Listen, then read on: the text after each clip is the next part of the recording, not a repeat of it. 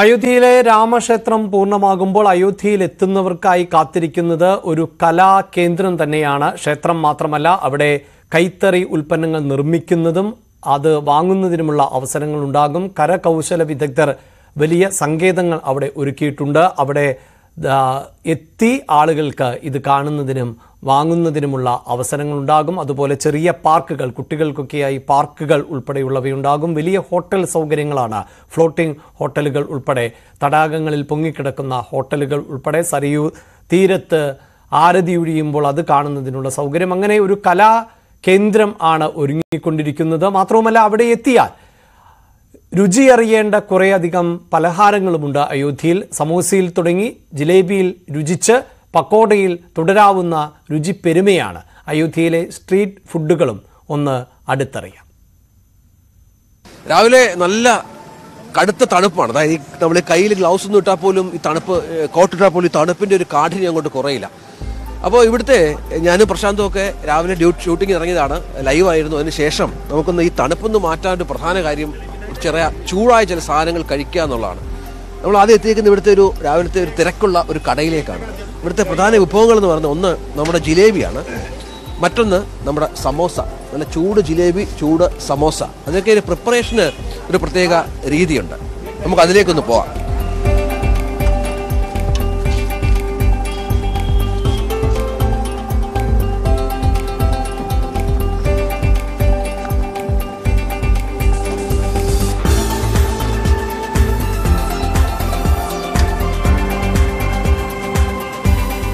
ഈ ജിലേബി നമ്മൾ സ്വീറ്റാണ് അതിന്റെ കൂടെ കഴിക്കുന്ന അതിന്റെ കോമ്പിനേഷനാണ് പ്രത്യേകത. ഈ ജിലേബി ഇസ്കെ ഭയ്യ ഇസ്കെ സാത്ത് ദഹി ജലേബി ഹെ തൈര് നമ്മുടെ അവിടുത്തെ തൈര് ഒപ്പം സ്വീറ്റ് മിൽക്ക് അതായത് അതിനൊരു പ്രത്യേക പേരുണ്ട് സ്വീറ്റ് മിൽക്ക്. കൂടി ചേർത്ത്. രീതിയിലാണ് പ്രിപ്പയർ ചെയ്യുന്നത്. കണ്ടാൽ നമുക്കൊരു വ്യത്യസ്തത തോന്നും.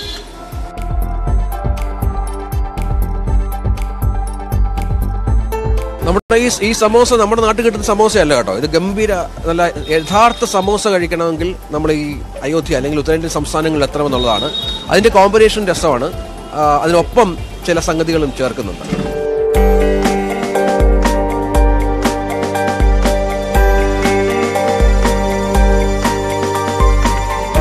इसमें क्या क्या कर दिया है आलू चना चटनी ഓ ആലു ആലു ആണ് ഈ പിന്നെ സമോസയ്ക്കൊപ്പം ആലു ആ, ചന ചട്നി ഒപ്പം അല്പം തൈരും ചേർത്താണ്. ഗംഭീര സാധനമാണ് കേട്ടോ. ഒരു രക്ഷയില്ല സാധനമാണ്. കഴിച്ചു നോക്കുമ്പോഴാണ് അതിന്റെ ഒരു രുചി നമ്മൾ മനസ്സിലാക്കുന്നത്.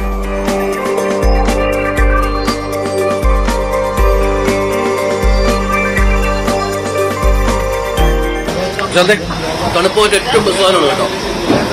ചൂട് ചായ നല്ല ചൂടുണ്ട്.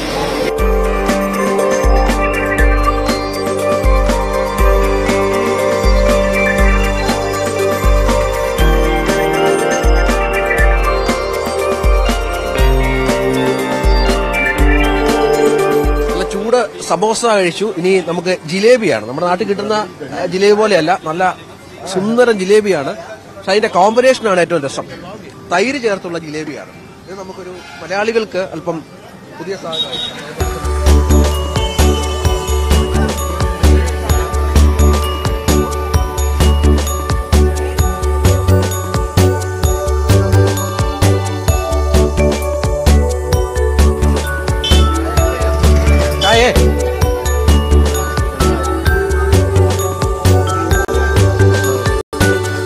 ഇതുണ്ടോ ഇത് നമ്മുടെ മൺ മൺകപ്പാണ് മൺകപ്പ്. ഇത് യൂസ് ആൻത്രമാണ് കേട്ടോ. ഒരു തവണ നമ്മൾ ഉപയോഗിച്ച് കഴിഞ്ഞാൽ ഇത് ഡിസ്പോസ് ചെയ്യണം.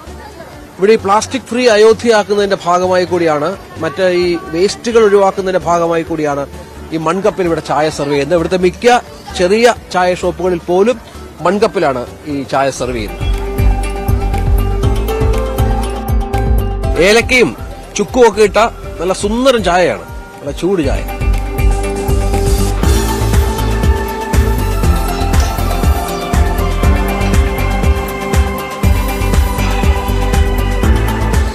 രാവിലത്തെ മഞ്ഞും തണുപ്പും ഒക്കെ ഒന്ന് മാറി ഒരു പത്ത് പന്ത്രണ്ട് മണിയൊക്കെ ആയി കഴിഞ്ഞാൽ പിന്നെ ഈ മധുരമുള്ള പലഹാരങ്ങളുടെ ഒരു മേളമാണ് ഇവിടെ നമുക്ക് ഇത് ജിലേബിയാണെന്ന് നമ്മുടെ മലയാളി പ്രേക്ഷകർക്ക് തോന്നും പക്ഷേ ഈ ജിലേബി അല്ല ഇമിട്ടി എന്നാണ് ഇതിന്റെ പേര് ഇസ്കാ നാം ക്യാ ഭയ്യ गुजिया जिया है ये भी ये भी मीठा है जी ये क्या ये कचौड़ी है कचौड़ी है जी दाल की वो वो पूरा वो सब क्या है ये रबड़ी है ये ये लबड़ी ये भी मीठा है हाँ, वो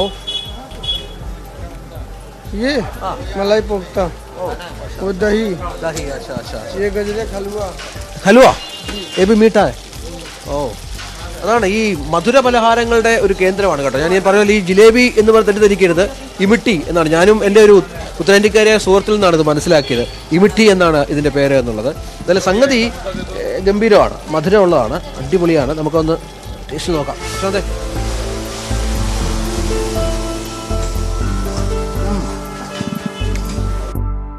നമ്മളിവിടെ ജിലേബിയാണ്. നമ്മുടെ ബേക്കറികളിലൊക്കെ ജിലേബിയാണ് പക്ഷേ ജിലേബിയല്ല ഇവിടെ ഇമിട്ടി ശരിക്കുള്ള ജിലേബി എന്ന് പറയുന്നത് ആയിരിക്കുന്ന ആ സാധനമാണ്.